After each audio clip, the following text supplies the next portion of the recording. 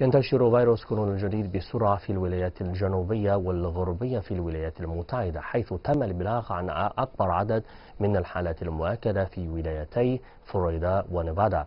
أما في ولاية أريزونا فقد تم تسجيل رقم قياسي لأعلى حصيلة في يوم واحد وذلك الثلاثاء بالأسبوع الماضي.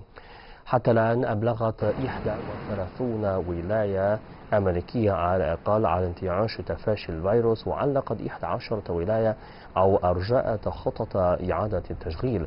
ومع انتعاش تفاشي في الولايات المتحدة بدأت العديد من الولايات تنفيذ تدابير وقائية جديدة حيث أغلقت فلوريدا وتكساس الحانات وفرضت قيودا على المطاعم. وأعلنت مدينة ميامي وهي منتجع في فلوريدا عن إغلاق جميع الشواطئ في الرابع من يوليو القادم. أما غاليا بارك هي مدينة صغيرة في ضواحي هيوستن تكساس فقد فرضت حظرا على التجوال بدا من مساء أمس السبت.